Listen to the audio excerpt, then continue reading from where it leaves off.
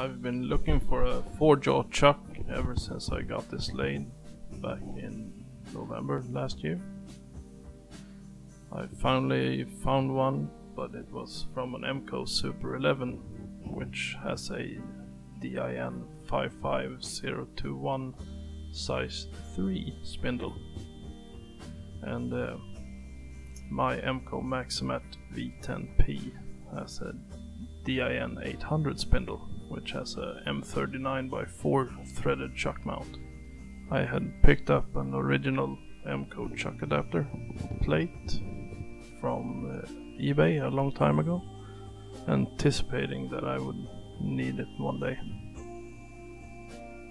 These do not grow on trees, unfortunately. But I needed to make an intermediate adapter plate to fit between the new chuck and the original uh, chuck adapter plate. I was in luck and found a piece of stock that had previously been used as some sort of a, uh, adapter plate and it was the perfect size for my new adapter.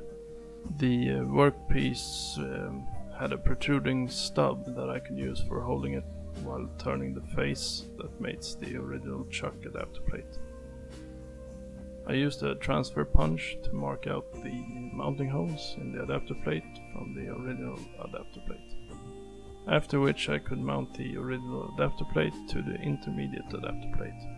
Then I mounted the assembly on the lathe and turned the side that would mate to the chuck. The DIN 55021 uses a short tapered nose with a taper of 7 degrees, 7 minutes and 30 seconds which is 7.125 degrees. I turned a 3mm nose with the correct taper that the chuck registers on. Then it was time to drill the three holes for mounting the chuck to the intermediate uh, adapter plate.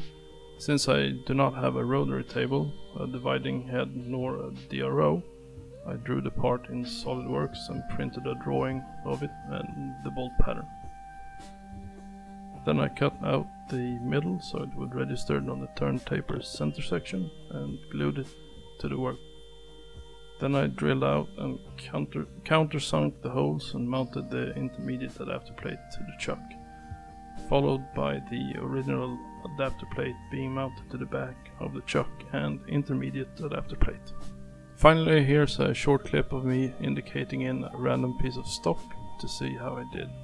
As it turned out, worked pretty well. Thanks for watching. Uh, I'll try to shoot more video next time.